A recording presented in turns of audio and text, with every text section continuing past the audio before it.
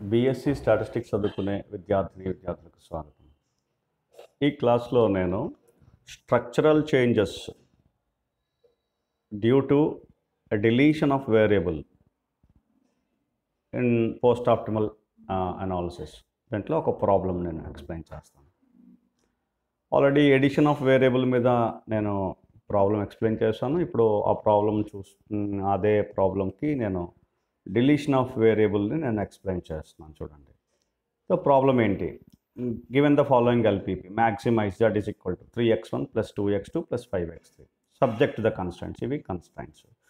X one x two x three greater than equal zero ఇప్పుడు ఇలా problem ఇస్తే అంటే లెస్ దాన్ ఈక్వల్ కన్స్టెంట్లో ఇచ్చాడు త్రీ వేరియబుల్స్ ఉన్నాయి ప్రాబ్లం ఇస్తే ఈ ప్రాబ్లంలో see the third case third problem third question ఈ థర్డ్ క్వశ్చన్ చూడండి. If the variable x two is deleted from the linear programming problem then obtain the optimal solution of the resulting LPP x two అనే వేరియబుల్ని అంటే existing variable అంటారు దీన్ని.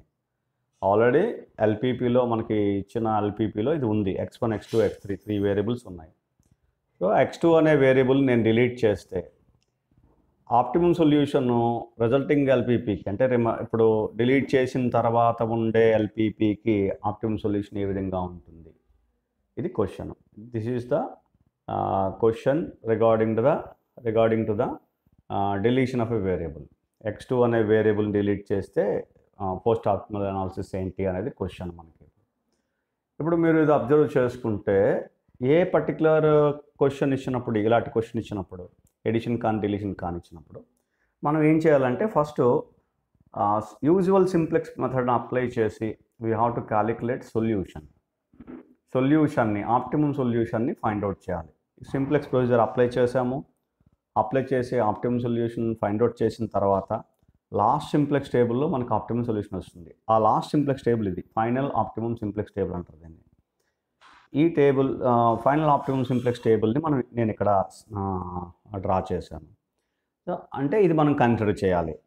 మనం solution as యూజువల్గా చేసుకోవాలి.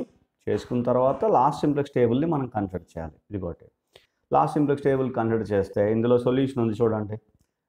ఏదో y two y three y six ఇవి రెండు ఇవి మూడు వైబీలో ఉండే బేసిస్ మ్యాట్రిక్స్లో ఉండే వెక్టర్స్ దానికి కరస్పాండింగ్ ఉండే కాస్ట్లు that z is equal to thirteen fifty. Z Zeeman seize and at valuations all greater than equal zero. ఇది మనం అబ్జర్వ్ చేయాలి. ఇలా వాల్యూస్ అవి ఉన్నాయి. ఇప్పుడు ఈ పర్టికులర్ దానికి దానికి దానికి మనం ఏంటి క్యాలిక్యులేట్ చేయాలంటే ఇప్పుడు ఎక్స్ టూ అనే వేరియబుల్ డిలీట్ అయితే ఏం చేయాలి? ఎక్స్ టూ అనే వేరియబుల్ డిలీట్ అయితే ఏం చేయాలి? ఇది మన క్వశ్చన్. దీనికి ఏం చేస్తామంటే చూడండి థర్డ్ క్వశ్చన్ స్టార్ట్ చేశాను సొల్యూషన్ని. ఎక్స్ టూ అనేది వేరియబుల్ డిలీట్ అయితే అది ముందు బేసిస్లో ఉందా నాన్ బేసిస్లో ఉందా అనేది మరొకసారి చూపిస్తాను. బేసిస్లో ఉందా నాన్ బేసిస్లో ఉందా అనేది చూడాలి. ఎక్స్ టూ కరస్పాండింగ్ ఉండే వెక్టర్ వై టూ ఇగో వై టూ వై టూ బేసిస్లో ఉంది కాబట్టి ఎక్స్ టూ బేసిక్ వేరియబుల్ అనమాట x two is in the basic vector so కాబట్టి ఎక్స్ టూ అనే వేరియబుల్ బేసిక్ వేరియబుల్ ఇగో ఇక్కడ రాసాను క్లియర్గా the x two is variable x two is deleted and and x two is a basic variable మీకు ఇచ్చిన ఎల్పిపిలో ఎక్స్ ఫైనల్ ఆప్టిమమ్ సింప్లెక్స్ టేబుల్లో ఎక్స్ టూ అనేది ఒక బేసిక్ వేరియబుల్ అప్పుడే ఈ కేసులో ఏం చేయాలి? ఎస్ఐనే cost minus m to x two x టూకి మైనస్ ఎం అనే కాస్ట్ని అసైన్ చేయండి. And simplex procedure final simplex ప్రొసీజర్ని first simplex procedure first simplex table కింద తీసుకోండి. ఫైనల్ సింప్లెక్స్ టేబుల్లో ఉండే వాల్యూస్ ఫస్ట్ సింప్లెక్స్ టేబుల్లో ఇప్పుడు ప్రొసీజర్ స్టార్ట్ చేసిన తర్వాత తీసుకోండి. సింప్లెక్స్ టేబుల్ వన్ కింద. సో అలా తీసుకుంటే చూడండి ఇందులో చేంజెస్ ఏం చేసాము వై టూకి కాస్ట్ మైనస్ ఎం కింద తీసుకున్నాము. ఇక్కడ ఉంది చూడండి. X two cost minus m అంటే వై టూ కాస్ట్. వై టూకి కాస్ట్ ఇక్కడ ఇక్కడ కూడా మైనస్ ఎం మార్చాము. అంతే ఇంకేం చేంజ్ చేయలేదు ఈ టే- ఈ టేబుల్లో. ఇప్పుడు ఏం చేయాలి? జడ్ వాల్యూ క్యాలిక్యులేట్ చేయాలి. జడ్జే మైనస్ సీజే వాల్యూ క్యాలిక్యులేట్ చేయాలి. జెడ్ చూడండి. Minus m into hundred minus hundred m five into two thirty plus zero into twenty eleven fifty CBXB formula అలాగే జెడ్ సీజే వాల్యూస్ క్యాలిక్యులేట్ చేయాలి. చేసాము చేసిన తర్వాత ఇవి values వచ్చాయి. ఇప్పుడు యాజ్ యూజువల్ సింప్లెక్స్ ప్రొసీజర్ని మనం అప్లై చేస్తున్నాం. అంటే ఇప్పుడు ఏం చేయాలి? నట్టి వాల్యుయేషన్లో నెగిటివ్ ఏమైనా వచ్చిందా? లేకపోతే అన్ని గ్రాడర్ దన్ ఈక్వల్ జీరో ఉన్నాయా అన్ని గ్రాడర్ దన్ ఈక్వల్ జీరో ఉంటే సొల్యూషన్ వచ్చినట్టే. ఎనీ నెగిటివ్ ఉంటే మనం కరస్పాండింగ్ ప్రొసీజర్ మళ్ళీ ఫర్దర్గా ఫాలో అవ్వాలి. చూడండి ఇక్కడ. Minus m by two negative దీనికి కరస్పాండింగ్ ఉంటే వెక్టార్ వై ఫోర్ అంటే వై ఫోర్ ఎంటర్ అవుతుంది. Y four enters the basis ఇవ్వండి ఇప్పుడు ఏంటి which vector leaves the basis A vector leave అవుతుంది అనే దానికి ఒక ప్రొసీజర్ చేయాలి మళ్ళీ ఫార్ములా ఏంటది formula as usual minimum of XBI by YR YR greater than zero ఇక్కడ వన్ బై టూ ఇది ఒక్కటే greater than zero zero negative zero ఇది minus minus two negative zero negative so YR must be greater than zero అంటే ఇది ఒకటే. So hundred by ఇది ఎక్స్బిఐ ఇది YIR hundred by one by two ఇది తీసుకోకూడదు ఇది తీసుకోకూడదు. Hundred by one by two కాబట్టి one by two pivotal element ఇదే మినిమము ఇదే పివటల్ ఎలిమెంట్ పివటల్ ఎలిమెంట్ కరస్పాండింగ్గా ఉండే vector y two sir four y two leaves the basis so y four enters y two leaves and one by two is the pivotal element ఇది procedure మనం find out చేస్తాం. ఇప్పుడు ఈ ప్రొసీజర్ని మనం ప్రొసీజర్లో పివటల్ ఎలిమెంట్ని వన్ చేయాలి. నెక్స్ట్ టేబుల్లోకి నెక్స్ట్ టేబుల్లోకి వెళ్ళినప్పుడు సింప్లెక్స్ టేబుల్ టూలో పివటల్ ఎలిమెంట్ని వన్ చేయాలి. రిమైనింగ్ అదర్ ఎలిమెంట్స్ని జీరో చేయాలి. ఇది ఆల్రెడీ జీరో దీన్ని మైనస్ టూని జీరో చేయాలి. ఇది ఆర్ త్రీలో ఉంది. ఆర్ టూ ఏం చేయక్కలేదు ఆర్ వన్ ఏమో వన్ చేయాలి. వన్ చేయాలి. ఇది ఎలిమెంట్ని వన్ చేయాలి కాబట్టి వన్ బై టూ ఉంది. టూతో మల్టిప్లై చేసి సరిపోతుంది. ఇంకోటి ఆ రో ఆపరేషన్స్ రాశాను చూడండి. R one dash two r one అయిపోయింది. R two dash r two as it is r three dash two r one dash plus r three r one dash ఇందులో ఉంటుంది. ఇగో r one dash first enter అయిన row ఇది. And plus r three plus r three చేస్తే ఇది zero అయిపోతుంది. Two into r one dash plus r three చేస్తే ఈ value next టేబుల్లో జీరో అవుతుంది.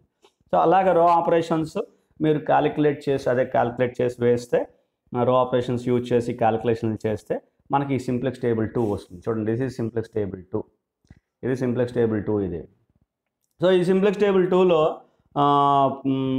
రో ఆపరేషన్స్ క్యాలిక్యులేట్ చేసిన తర్వాత r one dash r dash answer dash వచ్చిన తర్వాత రిమైనింగ్ వాల్యూస్ అని రాసుకుని వై టూ ప్లేస్లో వై ఫోర్ ఎంటర్ చేసి వై టూ తీసి వై టూ బేస్లోంచి బయటకు తీసేసి ఈ చేంజెస్ చేసిన తర్వాత మళ్ళీ ఒకసారి జడ్ నెట్ వాల్యుయేషన్స్ని మనం క్యాలిక్యులేట్ చేయాలి. అలా నెట్ వాల్యుయేషన్ని క్యాలిక్యులేట్ చేస్తే మనకి ఇంకోటి నెట్ వాల్యుయేషన్ వచ్చాయి చూడండి.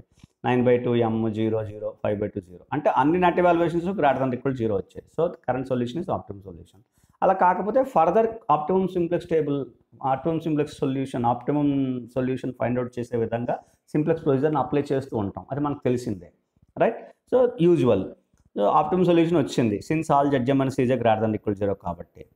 దాని value corresponding maximum value of z is equal to eleven fifty. At x one is equal to x one zero. X two deleted కాబట్టి ఎక్స్ టూ తీసేయండి. X three value two thirty.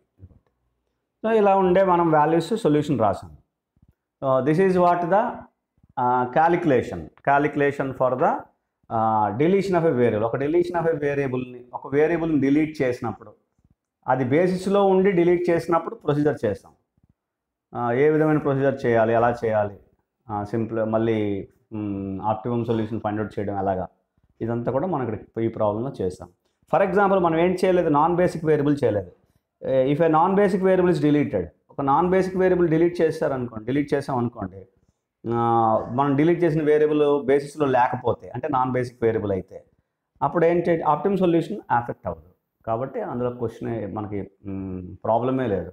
హ్యాపీగా వెంటనే one స్టెప్లో ఒక సెంటెన్స్లో మనం answer రాసేవచ్చు optimum solution will not be affected since it is a non basic variable. అంతే అంతే. కాబట్టి మీకు రెండు కూడా నేను ఎక్స్ప్లెయిన్ చేసినట్టు అర్థమైందని అనుకుంటున్నాను ఎక్స్ప్లెయిన్ చేశాను అనుకుంటున్నాను. అందరికీ అర్థమైంది కదండి. సో ఇది డిలీషన్ ఆఫ్ ఎ వేరియబుల్ మనం ఒక ఒక వేరియబుల్ డిలీట్ చేసినప్పుడు స్ట్రక్చరల్ చేంజెస్ ఎలా ఉంటాయి? పోస్ట్ ఆప్టిమల్ అనాలిసిస్లో ఇది మనం ఇక్కడ డిస్కస్ చేసాము. హోప్ యూ అండర్స్టాండ్ మీకు అందరికీ అర్థమైంది అనుకుంటున్నాను. Thank you thank you very much